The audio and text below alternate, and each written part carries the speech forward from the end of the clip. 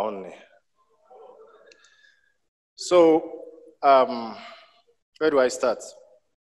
First of all, I do not consider myself worthy to be standing here today because I don't know what I've done to come here and talk to you that would inspire you.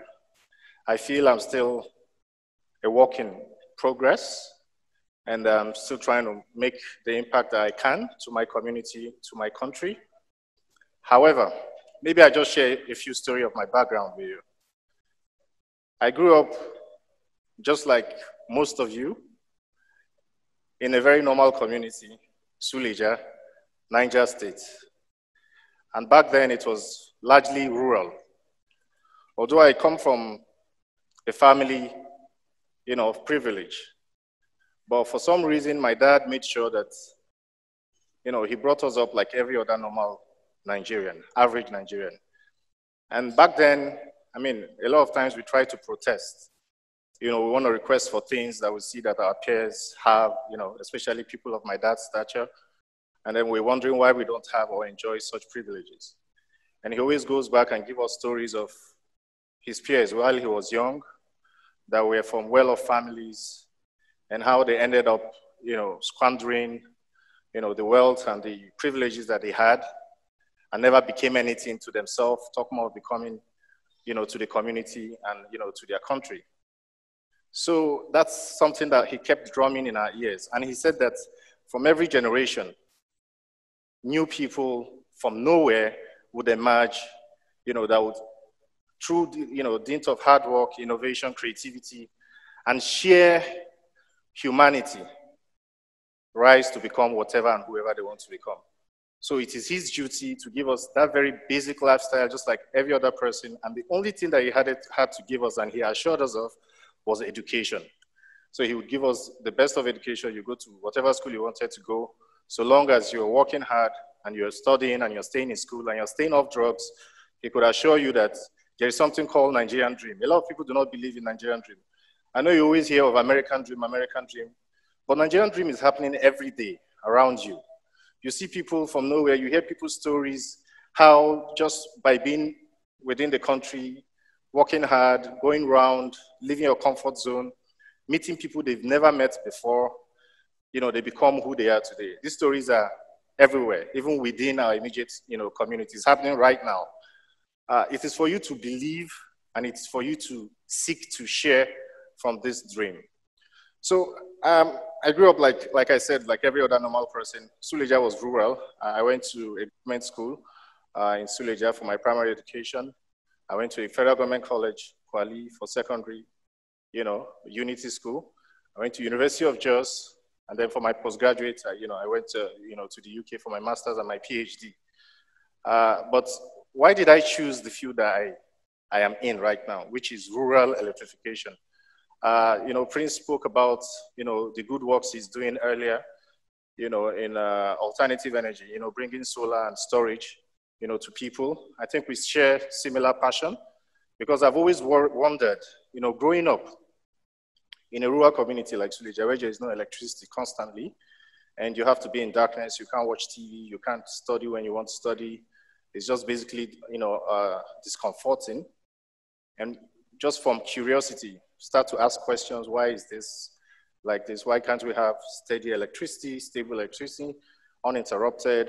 Uh, as you all know, it has ripple effects on the economy, on job creation, on just having you know better you know lifestyle you know for our people. And from asking questions, I got to realize that there is a gap. And this gap has to be filled by knowledge, by innovation, by creativity. As you see, almost 83 million Nigerians don't have access to electricity uh, as of today uh, because just half of our population is connected to the national grid. So when you see all of these uh, transmission cables and distribution cables that go into your households, uh, that's a part of a national grid, you know, that supplies electricity. And it's possible that you generate this electricity from one part of the country and it has to travel, you know, miles and kilometers thousands to another part of the country to supply. So for instance, uh, Prince mentioned Geregu 1 and 2, which you know, generated from gas in Ajaokuta. And it's possible that it is transmitted all the way to Kano uh, for people to consume. And sometimes you know, uh, for you to achieve this, it's a whole complex web of managing the system. And we're still at that manual stage in Nigeria where we haven't automated the system to make it efficient. So the grid itself has a problem because of the size of the country and the fact that we haven't advanced, you know, technologically. So why haven't we tapped into off-grid? That was my question. So I said, okay, the grid, they have their problems, but the people that are really suffering the most are those that are off-grid. So I sought to do a research in that field. While I was doing the research, I didn't know I was going to end up in REA. I didn't know I was going to be executive director. My dad did not even know what I was talking about. Uh, in fact, my dad wanted me to be an engineer. Uh, as far back as secondary school, I think when I was in SS1, I, I started off with sciences because he wanted me to be an engineer. But then after the first term, I didn't do well in the class, and I saw the people around, you know, because I'm very competitive like that. And these guys are brilliant, and I don't deceive myself. I know that there is no way I'll beat these guys in the next two, three years that I'll be in this class. So I just decided quietly to move to social science class where I know at least I would be able to compete and have an edge. So when my dad got wind, he came with my mom and uh, they met my principal. They said, no, my dad said, I want you to be an engineer. I'm building a company. I want you to, you know, uh, be part of it. And my, my principal asked me, young man, your dad has it all figured out for you. Why don't you want to, you know, be an engineer? I said, because there's no need for me to be an engineer. I don't want to be an engineer. I want to study economics and I, I go further to do a research and do a PhD, you know, in rural energy development to know, you know, how to contribute to solving this energy problem. And there was silence in the room.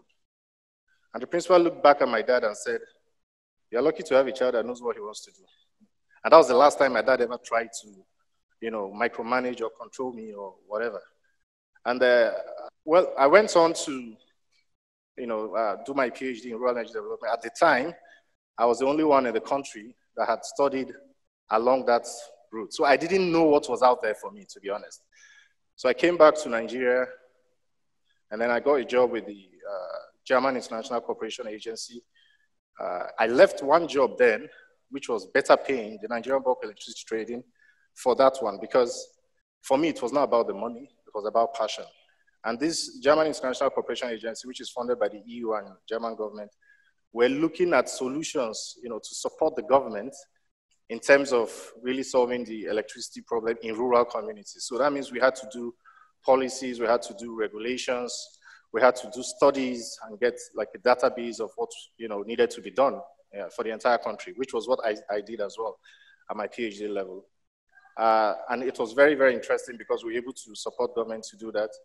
And then from there, I, I got wind I got wind, this is very important, of a vacancy at the Rural Electrification Agency. And a lot of people will come and tell you, oh, I didn't know, you know, uh, how this guy got it. Maybe his dad, you know, you know, and all of that. But the truth is, I decided on my own to apply for this job when there was no advert. I wrote to the president, I wrote to whoever, the minister, I told them that this is my background, this is what I want to do. And I did it genuinely and passionately because I knew I could do better if I was in that agency. And I didn't do it because I felt there was anything, you know, to be made of it, but genuinely felt like this is where my set skills, you know, could deliver the impact. And I got lucky. Uh, I got I got called for an interview. Um, you know, initially they were going to give me the managing director position there, but then uh, they said I was too young. I was 32 years then. They said, uh, according to the minister then, uh, Fashola, who is like a, a, mentor to me. So he gave the analogy of a football field. He said, you know, in a team, when a star player comes in, you know, they don't just put him to play 90 minutes of the game. You know, they have to substitute the older striker, you know, after 60 minutes, 70 minutes, and bring him in for 20 minutes, and gradually he, he takes over. So we are not going to make you MD you'll be executive director. Would you want that? And I said, why not? The idea is to contribute. And Alhamdulillah, when we went there, we've now been able to change the agency from being just a grid extension agency and buying of transformers to an agency that is largely moving towards off-grid. We've also been able to change the agency from just relying on monosource for funding, which is the national budget, you know, to uh, attracting more funds from you know, international development finance institutions. You look at the World Bank, look at the African Development Bank, uh, you look at the, uh, the uh, European Union, German government, and a lot of other sources of funds. So we have various programs now just targeted at, you know, delivering alternative energy using solar, you know, uh, in various sectors. Look at the education sector. We have the university program going on where we are providing electricity to 37 uh, federal universities and seven university teaching hospitals. We have several communities that had never seen electricity in their lives before.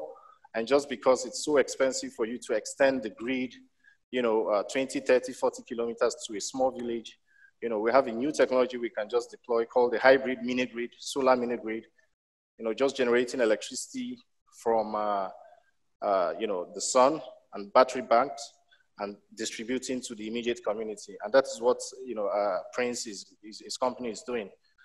So for instance, you know, you see the joy when you go to communities that for, for 200 years, there was a community we went to in uh, Ogun State. It was 60 kilometers deep, deep into the forest. And people were living there, and for 200 years, they've never had, you know, uh, electricity. It's called Oloji community. And even bringing it back home here in Opake, that is the ancestral home of Ebira. They've never had electricity in their lives before, but this kind of system which we've deployed there now has made them have uninterrupted power supply. So what's the moral of my story? It is, it is don't set out looking for, um, you know, money, fame, whatever. As Inya said, there has to be a purpose, and nobody will help you find that purpose. You have to find it yourself. It is innate, and there is this innate ability and good in everybody, you know, uh, to want to do good and want to impact.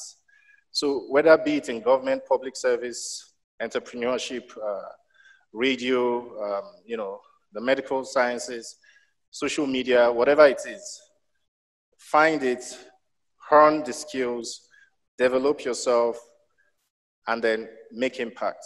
Impact doesn't have to start from large scale. You know, a lot of people did not know me before I became executive director. And even when I became, the first thing people thought was, oh, this guy, maybe because of his dad. But when they saw my CV and they saw all of the work I had done, you know, they could hardly believe that a young person could, you know, have achieved this.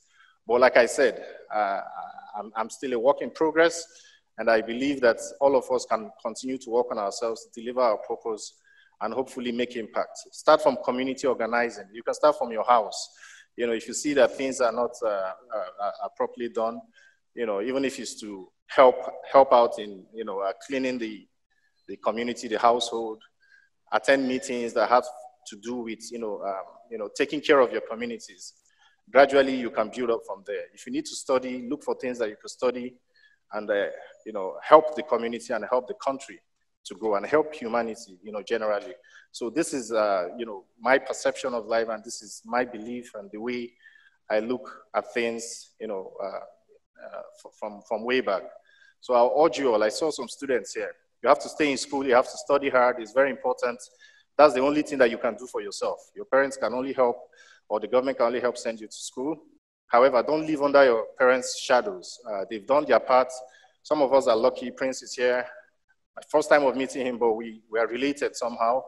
I, I come from a family of service, you know, from way back. Um, my, my great grandfather, you know, you know, served our clan. He was the one in charge of, you know, allocation and administration of land. My grandfather was a counselor, a politician. My father, you know, senator, you know, and then I'm here now doing my bit. Then for my, my maternal, my paternal uh, um, um, uh, grandma's side, related to, you know, the Ohinoyi, their cousins, the daughter of uh, Wakili. So these are just things that have happened and they've done their part. So we're lucky we come from that kind of family. What are you doing for the next generation? What are you preparing for your kids and their kids? And what are you hoping, what kind of life and society are you hoping they would live in? The time is now for you to start to think of how you can contribute for that next generation to have a better life. Thank you very much.